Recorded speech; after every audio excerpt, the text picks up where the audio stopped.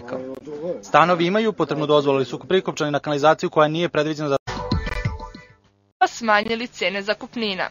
Nadležni ipak uveravaju da će radovi biti nastavljeni odmah po dobijanju rezultata.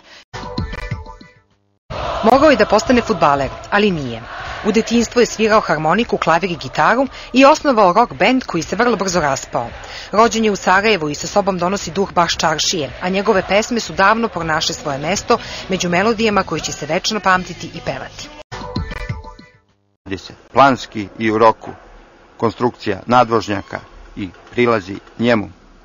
Od mosta novog gradit će se vijadukti koji će voditi iznad pruge ispuštat će se prema sajmu, odnosno novom mostu preko Ade Ciganlije. 1,8 milijardi dinara koštaće ovaj posao. Završetak jesen iduće godine, rekao nam je Nenad Bajić iz Direkcije za gradsko građevinsko zemljište koja i finansira